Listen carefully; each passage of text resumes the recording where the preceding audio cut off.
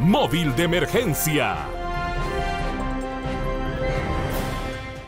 Buenos días, a continuación les presentamos un rápido resumen de los hechos más importantes que se dieron la noche de ayer y madrugada de hoy en nuestra móvil de emergencia en la ciudad de San Pedro Sula. Miembros de la Policía Militar del Orden Público del tercer batallón asignados al sector de Chamelecón le dieron captura a dos supuestos integrantes de una pandilla en la colonia San José del sector de Chamelecón. Realizó la detención de dos individuos ciudadanos identificados con el nombre de Edwin Alexander López Castellano de 25 años y Milton David Jiménez García de 36. Ellos fueron detenidos en el sector de Chamelecón, en la, colonia Savillón Cruz. A ellos se les decomisó dos armas tipo pistola de, de 9 milímetros, marca Taurus y Jericó, con 35 proyectiles sin percutir estos jóvenes podrían ser integrantes activos, supuestos integrantes activos de la estructura criminal MS. ¿Cómo se da con la captura? Ellos se encuentran en un, sector de, esa, de, la colonia Savillón Cruz, eh, pasa una patrulla y en el momento que se ven sospechosos requieren para hacer un registro de rutina que están haciendo los miembros de la policía militar en ese sector y se les, eh, ellos se dan a la fuga, los logran eh, detener y encontrarle estas, estas armas. A punto de perder la vida estuvieron pasajeros de una unidad de bus que cubre la ruta de Progreso La Lima y San Pedro Sula cuando se conducían en la calle de los Campos Bananeros al frente del Hospital Médica Center.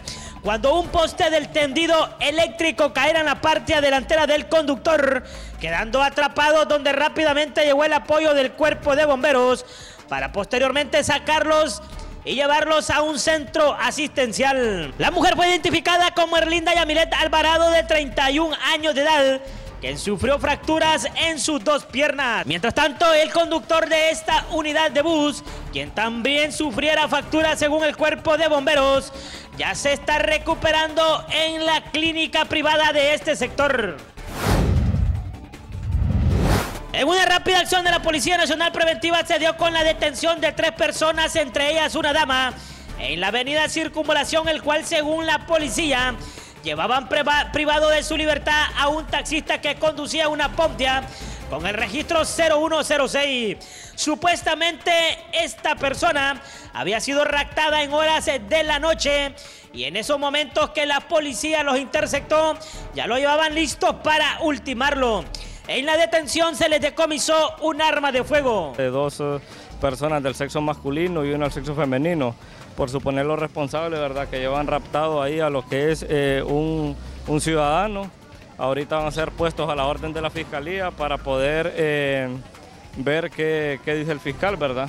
Ahorita viene lo que es un equipo de inspecciones oculares de la DPI para poder hacer la inspección del vehículo, a ver qué, qué más se encuentra en el vehículo. Ahora, ¿cómo reciben la denuncia ustedes? por la central de comunicaciones del 911, ¿verdad?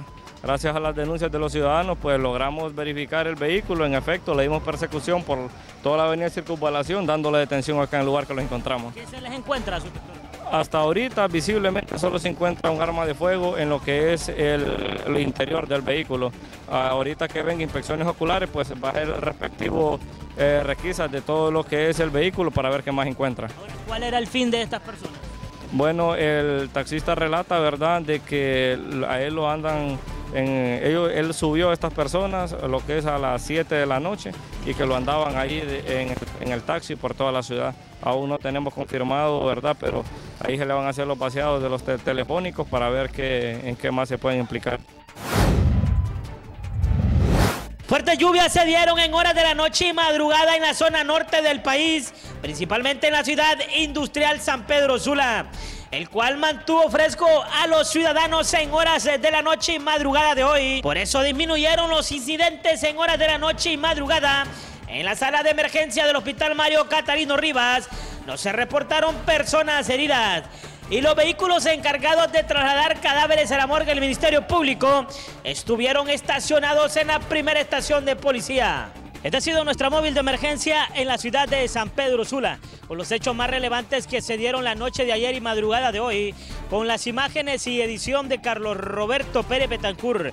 Desde el propio lugar de los hechos para HCH Televisión Digital, les informó Orly Castro. Móvil de emergencia.